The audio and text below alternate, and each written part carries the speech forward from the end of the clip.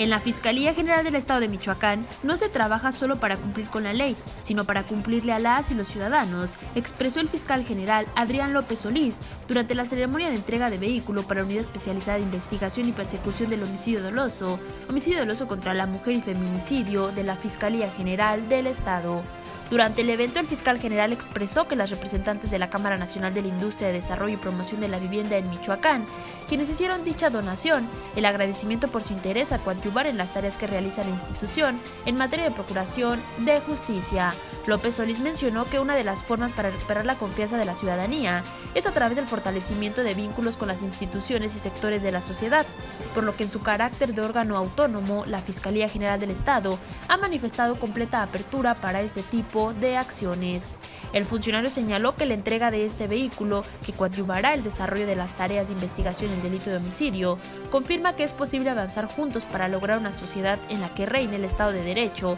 y haya cero impunidad.